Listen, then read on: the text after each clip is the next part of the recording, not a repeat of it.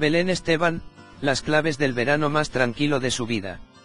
Belén Esteban está viviendo su verano más tranquilo.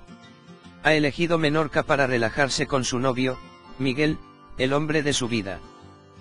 Se han acabado las tensiones y los malos rollos. Belén Esteban está viviendo su verano más tranquilo al lado del hombre de su vida. Después de mucho sufrimiento por los problemas con su ex representante, Toño Sanchís, que casi le llevan a la ruina económica, la colaboradora de Salvame ha podido respirar tranquila.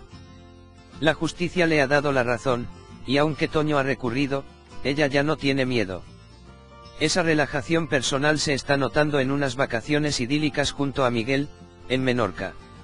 Allí están disfrutando de los momentos más románticos en las paradisíacas calas y con cenas para dos bajo la luna balear. La pareja, en sus casi cuatro años de relación, está pensando en tener un hijo y también parece que la boda no está muy lejana. Además, Miguel está siendo el mejor apoyo para que Belén, ahora que su hija Andrea va a dejar España para irse a estudiar a Inglaterra. Belén está más rejada que nunca. Ya no entra en guerras que le desgastan y sabe callarse ante las provocaciones de Toño Sanchís, solo quiere que le pague lo que le debe, cerrar esa etapa de su vida y vivir feliz y tranquila con su pareja y su familia.